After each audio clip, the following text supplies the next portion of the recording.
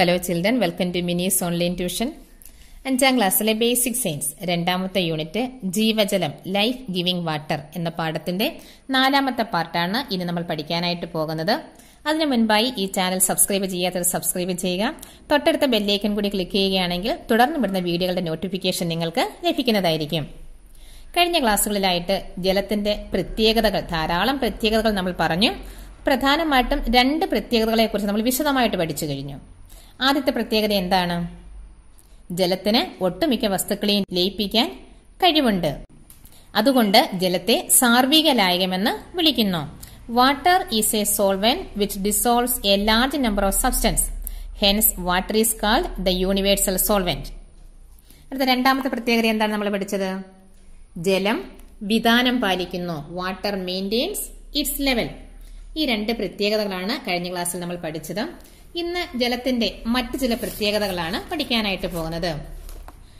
ഭൂമിയിൽ വസ്തുക്കൾ മൂന്ന് അവസ്ഥയിൽ സ്ഥിതി ചെയ്യുന്നു. നമ്മൾ നേരത്തെ പഠിച്ചിട്ടുള്ളതാണ് അല്ലെ ചെറിയ ക്ലാസ്സുകളൊക്കെ നമ്മൾ പഠിച്ചിട്ടുള്ളതാണ്. മൂന്ന് അവസ്ഥയിലാണ് പ്രകൃതിയിൽ വസ്തുക്കൾ സ്ഥിതി ചെയ്യുന്നത്. ഖരാവസ്ഥയിലും ദ്രാവകാവസ്ഥയിലും വാതകാവസ്ഥയിലും അല്ലെ? Solid state liquid state and gaseous state ഇതിൽ ജലം ഏതവസ്ഥയിലാണ്? ലിക്വിഡ് സ്റ്റേറ്റ് ആണ് അല്ലെ ദ്രാവകാവസ്ഥയിലാണ്. ഇത്തരം ദ്രാവകങ്ങൾ അളക്കുന്നതിനുള്ള ഏകകമാണ് litre. Litre is the unit measured for measuring liquids ഇവിടെ ദ്രാവകങ്ങൾ ജലം മാത്രമാണോ ദ്രാവകം? മണ്ണെണ്ണ വെളിച്ചെണ്ണ പെയിന്റ് മരുന്നുകൾ പാൽ സാനിറ്റൈസർ ഇതെല്ലാം എന്താണ്? ദ്രാവകങ്ങളാണ്. ഈ ദ്രാവകങ്ങൾ അളക്കാൻ ഉപയോഗിക്കുന്ന ഏകകം ഏതാണ്? Litre. Litre is the unit measured for measuring liquids When small quantities of liquids are to be measured, the unit is milliliter. കുറഞ്ഞ അളവിൽ ദ്രാവകങ്ങൾ അളക്കേണ്ടി വരുമ്പോൾ മില്ലി ലിറ്റർ എന്ന ഏകകം നമ്മൾ ഉപയോഗിക്കുന്നു. മരുന്നിന്റെ അളവൊക്കെ മില്ലി ലിറ്ററിലാണ് പറയുന്നത് അല്ലേ എന്നാൽ പാലും വെളിച്ചെണ്ണയൊക്കെ ആണെങ്കിൽ നമ്മൾ ലിറ്ററിലാണ് പറയുന്നത്. ചെറിയ അളവിൽ ദ്രാവകങ്ങൾ അളക്കാൻ ഉപയോഗിക്കുന്നത് യൂണിറ്റ് ഏതാണ്? മില്ലി ലിറ്റർ എന്ന യൂണിറ്റ് ആണ്. അടുത്ത ഈ ചിത്രം ശ്രദ്ധിച്ച് ഗ്ലോബ് ആണല്ലേ? The blue colour shows water bodies നീല കളറിൽ കാണുന്ന ഭാഗം എന്താണ്? ജലാശയമാണ്. Most of the portion of the earth is ocean ഭൂമിയിൽ കൂടുതൽ ഭാഗവും സമുദ്രമാണ് കാണുന്നത് അല്ലേ? Two third of the surface area of the earth is water which is double the area of land ആ ചിത്രം കാണുമ്പോൾ നമുക്കറിയാം ഭൂമിയിൽ മൂന്നിൽ രണ്ട് ഭാഗവും എന്താണ്? വാട്ടറാണ് ജലമാണ് കാണുന്നത്. ആ ചിത്രം ശ്രദ്ധിക്കുമ്പോൾ അറിയാം അത് നീല നിറത്തിൽ അടയാളപ്പെടുത്തിക്കുന്നത് എല്ലാം ജലമാണ്. അപ്പോൾ എന്ത് മനസ്സിലായി നമുക്ക്? ഭൂമിയിൽ ഏറ്റവും കൂടുതൽ കരയാണോ കടലാണോ കൂടുതൽ കാണപ്പെടുന്നത്? കരയുടെ ഇരട്ടിയാണ് കടൽ കാണുന്നത്. മൂന്നിൽ രണ്ട് ഭാഗവും ജലമാണ്. ഈ ജലം മുഴുവനും നമുക്ക് ഉപയോഗയോഗ്യമാണോ? കൂടുതലും സമുദ്രജലമാണെന്ന് പറഞ്ഞല്ലേ? സമുദ്രജലം നമുക്ക് ഉപയോഗയോഗ്യമാണോ? അത് കുടിക്കാൻ പറ്റുമോ? ഇല്ല. എന്താ കാരണം? ബിക്കോസ് ഇറ്റ് ഈസ് സാൾട്ടി അതിന് ഉപ്പുരസമുണ്ട്. അതുകൊണ്ട് അത് നമുക്ക് കുടിക്കാനായിട്ടും മറ്റുള്ള ആവശ്യങ്ങൾക്ക് ഉപയോഗിക്കാനായിട്ട് കഴിയില്ല. പിന്നെ നമ്മൾ കുടിക്കാൻ ഉപയോഗിക്കുന്ന വെള്ളം നമ്മുടെ ആവശ്യങ്ങൾക്ക് ഉപയോഗിക്കുന്ന വെള്ളം എവിടെ നിന്നാണ് എടുക്കുന്നത്? ആ വാട്ടർ സോഴ്സസ് ജലസ്രോതസ്സുകൾ ഏതൊക്കെയാണ്?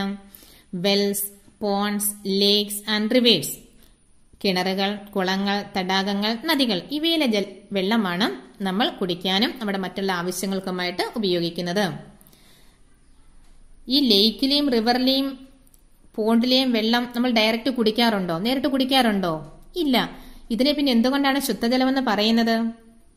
ശുദ്ധജലമെന്ന് പറയാൻ കാരണം ഇതിൽ ഉപ്പിന്റെ അംശമില്ല. അതുകൊണ്ട് മാത്രമാണ് ശുദ്ധജലമെന്ന് ഇവയെ പറയുന്നത്. അല്ലാതെ നമുക്ക് ഡയറക്റ്റ് കുടിക്കാനായിട്ട് പറ്റുകയില്ല. പിന്നെ ഇത് നമ്മൾ വലിയ ടാങ്കുകളിലൊക്കെ ശേഖരിച്ചിട്ട് അത് ക്ലീൻ ചെയ്തിട്ടൊക്കെ നമുക്ക് ഈ വാട്ടർ സപ്ലൈ സിസ്റ്റം വഴി സിറ്റികളിലും ടൗണിലും ഒക്കെ എത്താറുണ്ട്. അത് നമ്മൾ ഉപയോഗിക്കാറുണ്ട്. ചിത്രം ശ്രദ്ധിച്ചേ. ഈ ചിത്രത്തിൽ നമുക്ക് എന്ത് മനസ്സിലാകാം? Pure water three point five percentage ആണ് അല്ലേ ശുദ്ധജലം മൂന്ന് പോയിന്റ് അഞ്ച് ശതമാനവും. സീ വാട്ടർ സമുദ്രജലം തൊണ്ണൂറ്റിയാറ് പോയിന്റ് അഞ്ച് ശതമാനവുമാണ് അല്ലേ അപ്പോൾ ശുദ്ധജലത്തിന്റെ അളവ് നമുക്ക് മനസ്സിലായാലും എത്രമാത്രം ഉണ്ടെന്ന് പരിമിതമായ ശുദ്ധജല സ്രോതസ്സുകളാണ് നമുക്കുള്ളത് അല്ലേ? ഇന്ന് പരിമിതമായ ഈ ശുദ്ധജല സ്രോതസ്സുകളെ ആളുകൾ മലിനമാക്കിക്കൊണ്ടിരിക്കുകയാണ്. അതിനെ നമുക്ക് എന്ത് ചെയ്യണം? സംരക്ഷിക്കണം. ചിത്രം ശ്രദ്ധിച്ചേ. ശുദ്ധജല സ്രോതസ്സുകൾ ഏതെല്ലാം രീതിയിൽ മലിനമാക്കപ്പെടുന്നു? അപ്പോൾ വളരെ പരിമിതമായ ശുദ്ധജല സ്രോതസ്സുകളാണ് നമുക്കുള്ളത്. ഇവയെ നമുക്ക് സംരക്ഷിക്കണം. ഈ ചിത്രത്തിൽ നിന്നും മൂന്ന് ചോദ്യങ്ങളുടെ ഉത്തരങ്ങൾ നമുക്ക് കണ്ടെത്തേണ്ടതായിട്ടുണ്ട്. ഈ ചോദ്യങ്ങളാണ് ടീച്ചർ ഇന്ന് വർക്ക്ഷീറ്റിലും തന്നിരിക്കുന്നത്. ആദ്യത്തെ ചോദ്യം ജലാശയങ്ങൾ എങ്ങനെയെല്ലാം മലിനമാകുന്നു? പുഴകളിൽ വാഹനങ്ങൾ കഴുകുന്നതും കന്നുകാലികളെ കുളിപ്പിക്കുന്നതും വഴി പുഴകൾ മലിനമാകുന്നു. പ്ലാസ്റ്റിക് മാലിന്യങ്ങൾ ജലസ്രോതസ്സുകളിൽ വലിച്ചെറിയുന്നത് മൂലം ജലാശയങ്ങൾ മലിനമാകുന്നു.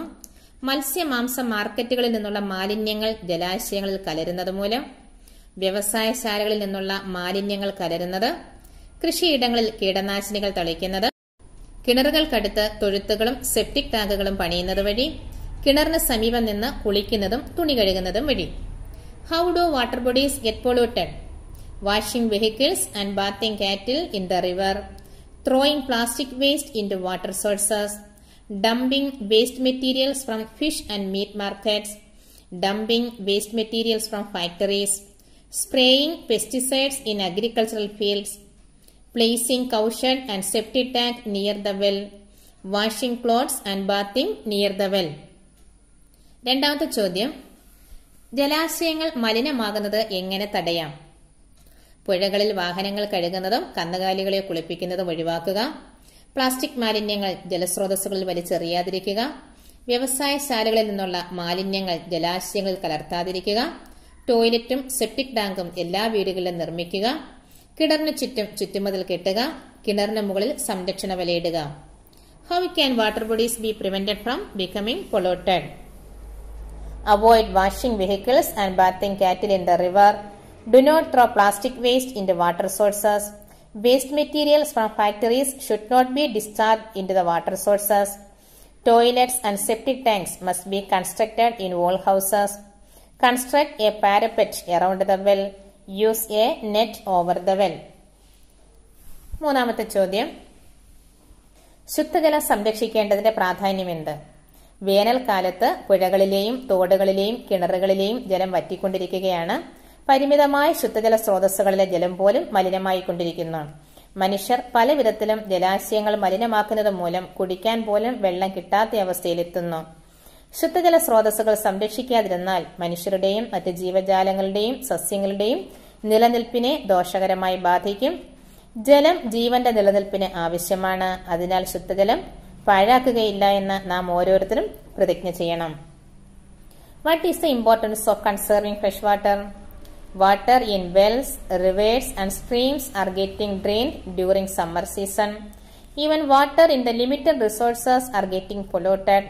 Since the water bodies are getting polluted by humans, water enough for drinking is not available. If we don't preserve our water bodies, it will affect the existence of humans, plants and other living beings.